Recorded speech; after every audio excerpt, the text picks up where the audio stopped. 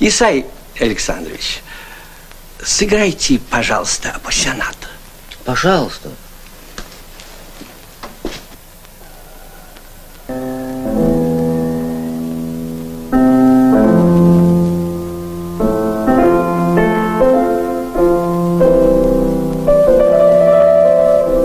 Экспозицию «Музыка в семье Ульяновых» нам показывает ее автор Светлана Генералова. Увлечение музыкой Владимиру Ильичу Ленину было привито с детства. Его мать, Мария Александровна, прекрасно играла на фортепиано. Именно она положила начало коллекции, которая насчитывает более 400 экземпляров. Нотная библиотека начала собираться где-то с середины XIX э, века. То есть первые ноты приобретены Марией э, Александровной, когда она еще была в девичестве Марии Бланк.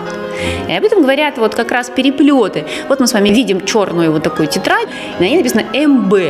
Потом там на а, развороте а, мы увидим, что подписано рукой дополнительно Мария Ульянова. То есть она была девушкой, купила эти ноты, потом ушла замуж, и влад... имя владелицы изменилось.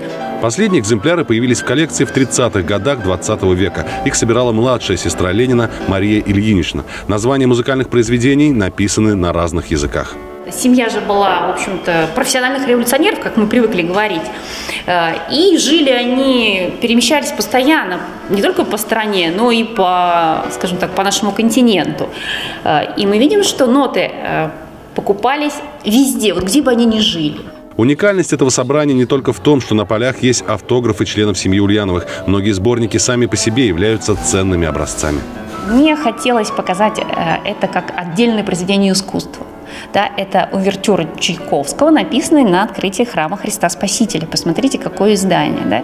А, я консультировалась с нашим художником. Это ручная работа, позолота, роспись. Но главное, ради чего создавалась экспозиция, это попытка другими глазами посмотреть на прошедшую эпоху и по-новому оценить личность вождя мирового пролетариата. Давайте уйдем от э, марксизма-ленинизма да, и честно, спокойно, нам еще рано делать оценки, нам еще рано это все оценивать.